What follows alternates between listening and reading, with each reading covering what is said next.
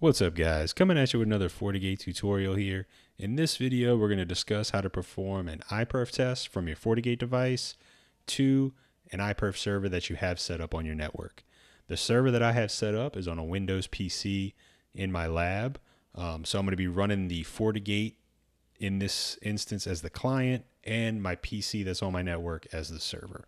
So in order to do that, what you're going to first have to do is make sure that you have iPerf downloaded onto the computer that you want to run it on. So if you're unfamiliar with iPerf or if you don't have it downloaded, you can go to iperf.fr as shown here. And once we're at this website, we're going to click download iPerf binaries. I'm running a Windows PC, so I'm going to go ahead and select iPerf 3.1.3, which is the newest version. This is the version that's supported on the FortiGate device, so I would go ahead and download this here. Once that's downloaded, go ahead and extract it.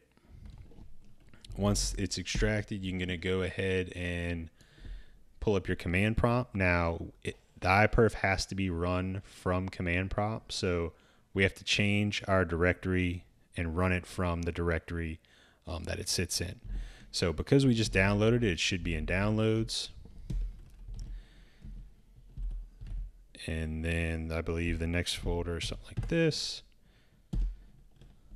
and then there's another folder within that folder.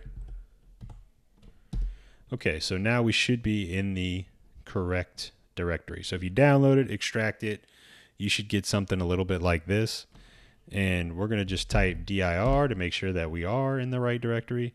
As you can see here, iperf3.exe, that's what we want to run.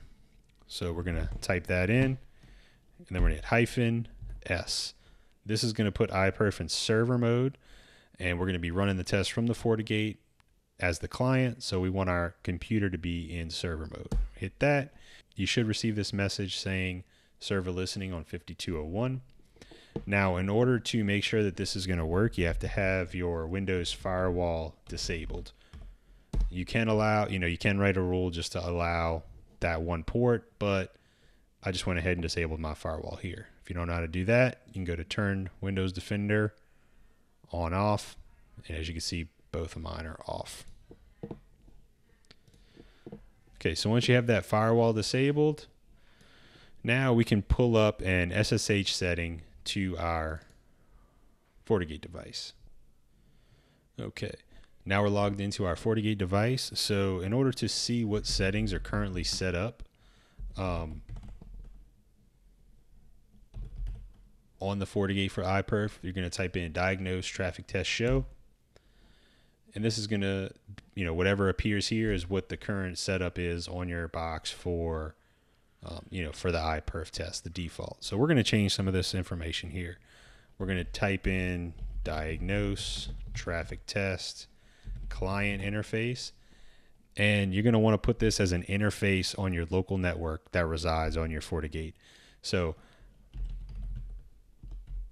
my local interface is called internal on my FortiGate, the one where you know I have some devices in my lab um, tied to.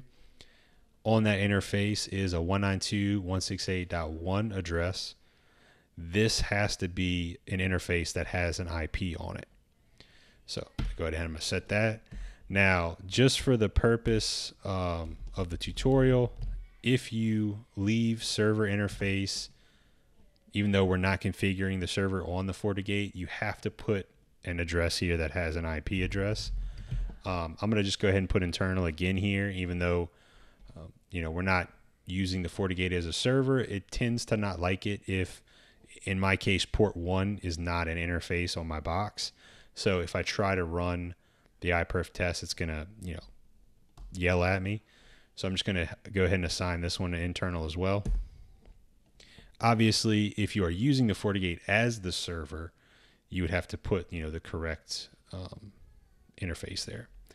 So now we have to change our port. So you're going to do diagnose, traffic test, port, and 5201, I believe, is yes, 5201 is the one it's listening on. All right, so now we have our interfaces set up and we have the port set up. Now we have to run the actual iPerf test. So for this, you're going to do diagnose traffic test run hyphen C because the FortiGate is acting as the client in this case. And then you have to put the IP address of the computer or host that you have the iPerf server set up on.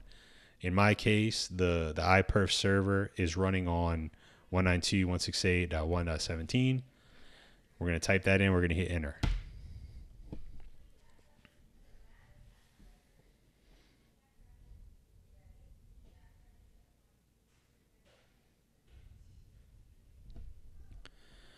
Okay, and as you can see here, we're getting the bandwidth here. Looks like between 500 and 700 megabits a second.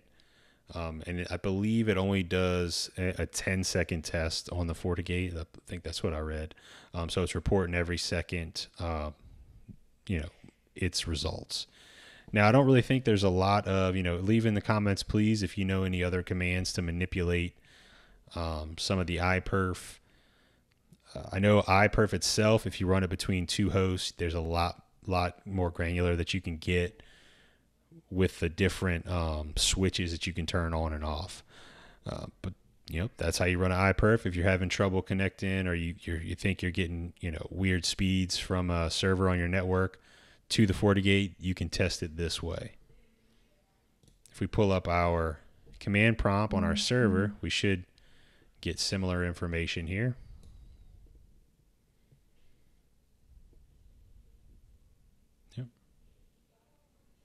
So